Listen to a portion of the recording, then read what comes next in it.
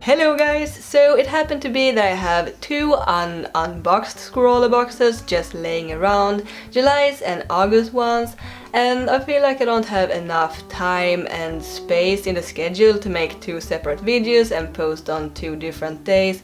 So I asked you on Instagram, and go follow me there by the way, I'm Kattvalk there as well, if I should make a double unboxing and most of you said yes, so here I am, I'm gonna open both of them and make one drawing with the supplies in both boxes. ScrawlrBox is a monthly subscription box that is filled with delicious art supplies. I will leave a link down down in the info box below to where you can subscribe to one if you're interested. I honestly love them and no I'm not paid to say that, I'm not paid to do any of these Artbox videos but there are almost always something new that I haven't tried in the boxes so I think it is a lot of fun. So first July's box and gosh July feels like ages ago. Let's start with a featured artist and this one I am very excited about since it is an artist that has inspired me a lot and she's Swedish as well. Her name is Maria and she's called Bokkei online and I really recommend you to check out her YouTube channel and her Instagram account if you like portraits and such. She's truly an amazing and crazy talented artist as you can see. This piece is just gorgeous. Then we have the Scrawlr Challenge, in which you should create something from a given word or a phrase and only use the supplies that's in the box, but this time I will change things up just a little because I have two boxes. And July theme is honeybee, bubblegum and a sticker. My all-time favorite color pencils, Polychromos from Faber-Castell. I've used them for years now and I recently got a 120 pieces set so I already have a few of these but it's really nice that they have included these in the box I think so more people can try them out. A little metal sharpener to sharpen your pencils with and something that looks like a mechanical pencil but it is an eraser. This is really nifty. I have something similar to this but it's more like a traditional pencil. These are great for more detailed work like doing strands of hairs and such. Next is a twin tip magic marker in the color Damask Red. I've never heard of this brand before, but it looks almost exactly like a marker that I got in another box. And it's got one wider chisel nib and one pointy finer nib. And the last supplies in July's box are these two pastel papers from a brand that I can't pronounce, so you have to read it here below. They are in the colors dark grey and pearl, and the color pencils will probably look amazing on this. I love working on toned paper. Hope you're not tired of supplies yet, because there are more in August box. First the featured artist, that is Laura Tattersfield, also known as Starsqueak. She made this amazingly colorful and vibrant artwork, it's super cute. And the theme for August box is Sweet Sundae, so these two themes kind of work together, sweet and honey. Sticker and the candy. Then we have this mechanical pencil looking thing that actually is a mechanical pencil from the brand Uni Kuru Toga. And what is a little special with this one is that the lead rotates as you draw to keep the nib sharp. And that is very interesting. I never think I've heard of such things, so that would be fun to try a white gel pen and it says in the info card that it's not as opaque as other gel pens but you can apparently build up layers which is nice if you don't want sharp white lines.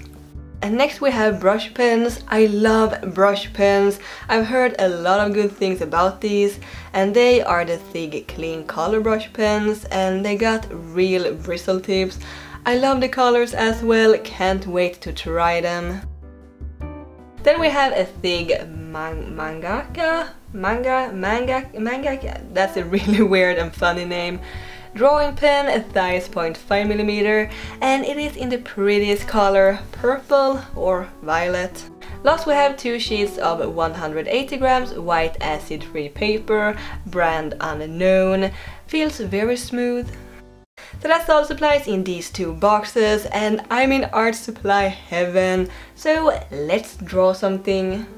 So the most interesting supplies in these boxes that are most new to me are the brush pens and I must say that when trying them out I got a little surprised. They were very soft and I kind of mashed the nib down in the paper.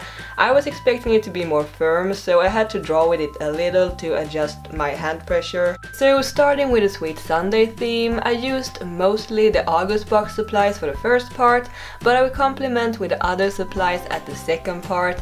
I like the mechanical pencil, it felt very nice to draw with, but I'm not sure about the rotating pencil nib though, but I usually don't draw with mechanical pencils, so maybe I can't really feel the difference, or I just need to draw with it some more. Anyhow, after a little practice, I actually really enjoyed working with brush pens and I read somewhere that you could pick up the color pigments from the tips of other water-based markers. So I tried it with the other pens, so I mixed the blue and pink ones to get the purple and the skin tone and pink and got a softer, paler pink. And the paper was also very nice to work on, it could stand the water-based markers pretty well and did not start to tear. Then I used the purple fine liner, which name I shall not try to pronounce again, and outlined the whole thing and did some sort of semi-cross hatching on the glass. I wanted the glass to stay quite simple since I didn't want it to take too much focus from the ice cream sundae thing and I think it turned out pretty cool. I liked the fine liner, it seemed to dry pretty fast and did not smudge. I added the white gel pen and I had to go over it more than a few times since it seems like the colors underneath was sucked up by the white ink and discolored it, but it didn't clog up as easy as a Gelly Roll gel pen, so it was quite easy to work with.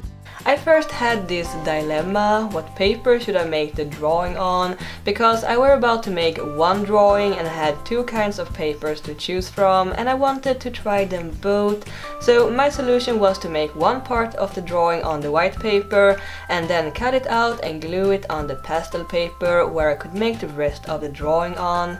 And I love the pastel paper, the color pencils felt so easy and smooth to work with on top of it, and the colors turned out very vibrant. So why the polychromos are my favorite color pencils, one of the reasons is actually because they are so smooth to draw with, and that it doesn't leave a lot of dust on the paper like for example Prismacolors do. So I'm drawing a little honeybee and that's how creative I am, but I thought it would look nice together with the other picture that I drew when put together and the little sharpener was actually very difficult to use since it was so small and hard to get a good grip on. I used a Tombow eraser to create little highlights in the bee's fur and on the body. I liked it, besides that it crumbled a lot.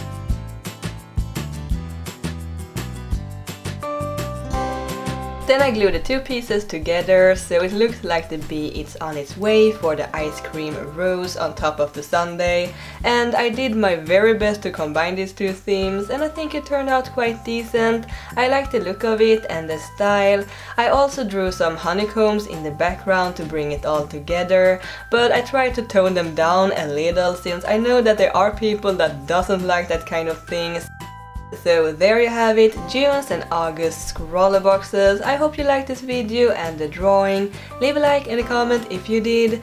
My favorite supplies was the brush pens and the pastel paper. I had a lot of fun trying these ones out, but I enjoyed working with all the supplies really. If you want to subscribe to ScrawlrBox, just click the link in the info box below. And don't forget to subscribe to my channel. Thank you so much for watching and keep drawing my happy cats. Bye!